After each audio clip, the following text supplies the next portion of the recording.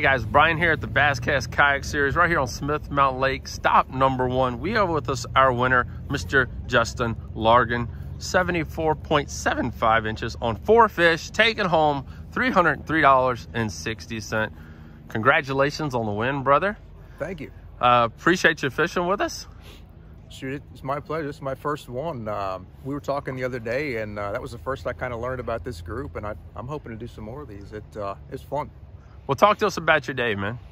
It uh, it started off kind of slow. I had some some trouble with the, the trailer lights, so I got a little bit of a late start. But I uh, I got my first bite around nine. Okay. Uh, skipping up under a dock. Had another one. I I was cranking just kind of a, a wind blown uh, wind blown point, and uh, I got my big fish, and then decided to go back to the docks and uh, managed to get three more bites, and uh, or I guess two more bites. Right. So I ended up with with three uh, on the a little missile 48.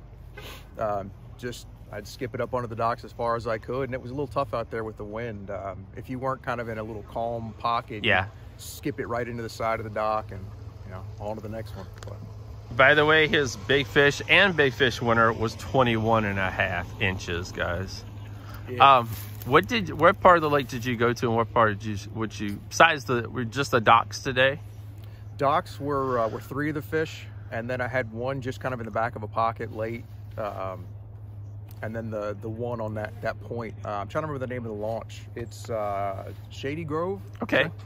Yep. But yeah, I stayed. Uh, I, I, ran a little further than I meant to, and had to fight the wind coming back. So it was, but it I, it worked out. I was I was when I did get bites, they were uh, they were the right bites. So.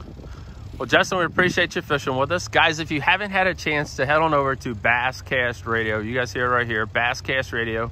We spoke with Justin about his uh, Bass Nation win down in Florida on Harris Chain. So head on over, take a listen, learn how he did it, and uh, he's uh, he's on a roll, guys. Appreciate you.